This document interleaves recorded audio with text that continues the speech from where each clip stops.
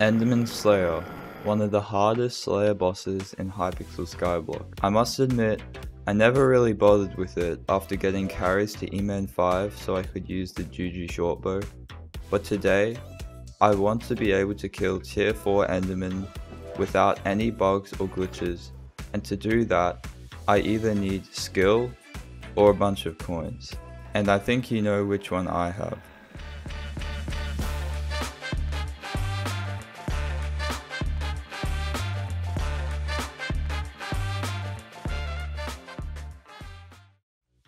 Alright, the first item on my list will be the legendary E-Drag pet, with the bubblegum pet item.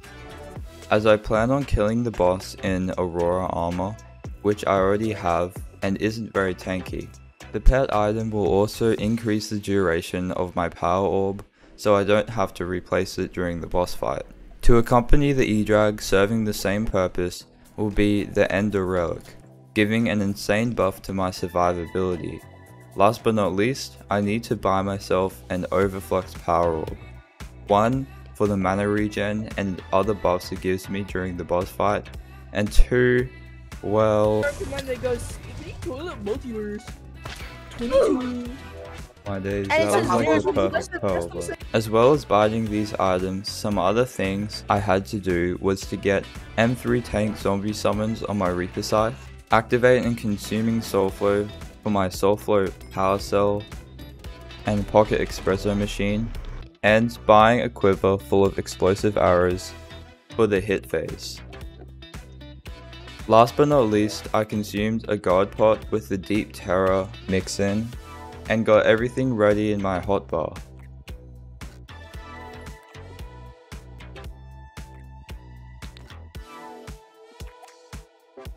So, one last time going over my gear.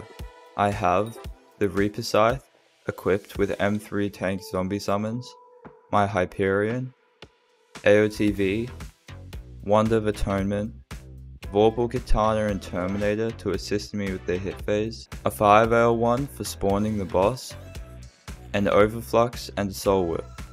The Soul Whip having Mana Steal 3 is for mana regen during the laser beam phase. I'm also using 3 Force Fiery Aurora with Mana Pool Vitality attributes and perfect gemstone slots. I also have my Wither Goggles and Mage equipment. Last but not least, looking at the pets, I have a level 100 legendary wolf pet for spawning the boss and an E-drag for killing the boss. Like I said before, the bubblegum held item your pet fuses its power with placed orbs to give them 2 times duration. This is very good because the default duration of a power orb is 60 seconds, so timing that by 2 will give me a whole 2 minutes to complete the boss, which is more than enough time. I also have Combat 60, Enchanting 60, and Alchemy 50, which all increase my damage, and of course my talismans, giving me a total of 1102 magical power. You can see that I've selected the Sighted Reforge, which gives me an extra 3 ability damage, and my tuning points are on intelligence. I did change these tuning points later on to defense to give me a bit more survivability. Even with all this gear, I was still dying too often, and I'm not sure why. There's probably some Enderman Slayer expert out there who can help me out in the comments, but for now I'm too impatient and I'm willing to sacrifice some boss time and some more coins just to be on the safe side. With all this in mind, I went over to the auction house and I bought myself an SO a Final Destination set. And now I can finally solo the tier 4 Enderman Slayer boss.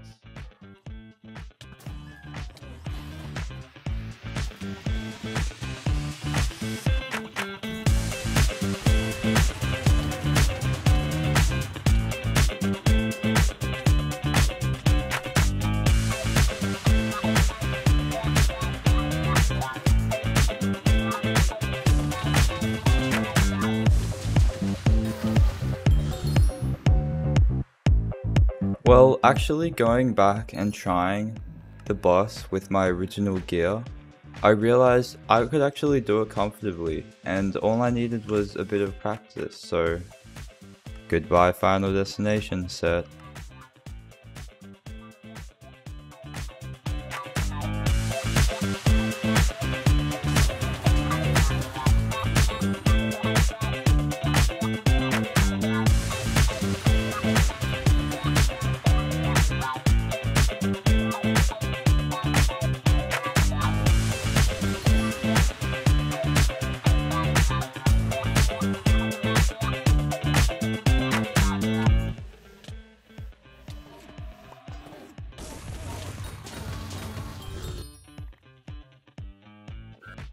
If you liked the video, let me know by subscribing, and if a separate E-Man Slayer guide is something you'd like to see as well, be sure to let me know that too. Anyways, bye!